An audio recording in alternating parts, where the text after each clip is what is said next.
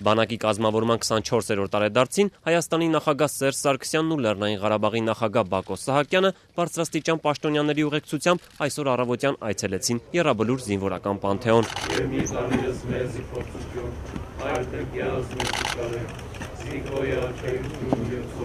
Կարծում եմ, որ մեր բանակի այսօրվա մարտունակությունը թույլ է տալիս ասելու, որ բանակը տարածաշրջանում փողգործունակ բանակ է, մրցունակ բանակ է եւ նաեւ բանակը հաղթանակած բանակ է, ինքը ամեն օր մեր սահմաններում, Արցախում, շփման գծում իր արժև դրված քննությունը հանձնում է գերազանց կերպով։ Շնորհավորում եմ մեր բոլորիս տոնը։ Նախ այս անկախության տարիների ընթացքում մենք կարողացանք ունենալ մի կառույց, մի ինստիտուտ, որը ողջևորում է հայ ժողովրդին, դա հայոց բանակն է, եւ մենք իրոք հպարտանալու տեղ ունենք, քանի որ մեր ձեռբերումը շատ մեծ է այդ անկախություն տարիներին, որով ապահովում է մեր պետության, մայր հայրենիքի եւ հայկական երկրորդ հանրապետության անկախությունը, անվտանգությունը եւ ես ուզում եմ ասել, որ իրոք դա մեր երկրի համար, մեր ժողովրդի համար հպարտություն է, մեր բանակը եւ ես ուզում եմ շնորհավորել մեր բոլոր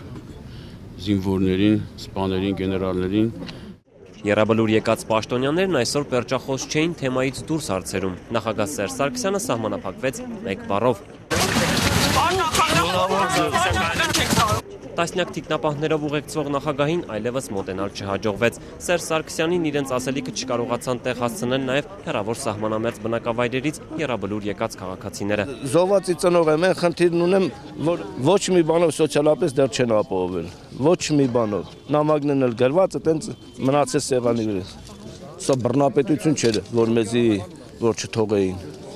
նախագահին ինչ էինք անելու ոչ մի բան ուղղակի հարց ուղղելու ենք որ մի բանով աջակցեին Զինված ուժերին չվերաբերող հարցերին ոստիկանապետ Վլադիմիր Գասպարյանը հեգնանքով արձագանքեց։ ոստիկանապետ ճանապարհային ոստիկանության բնակավարում արդեն խախտումները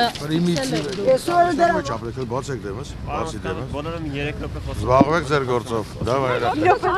Դե հարցի հարցը տվեցիք, պատասխանեցիք։ Վարչապետ Հովիկ Աբրահամյանը չխոսեց նաև կառավարությունում ակնկալվող կրճատումների կոալիցիայի ու գազի գնի շուրջ ռուսական կողմի հետ բանակցությունների վերաբերյալ։ Որ նախարարությունները կկրճատվեն։ Բա մենք բանակի մասին ենք որոշում։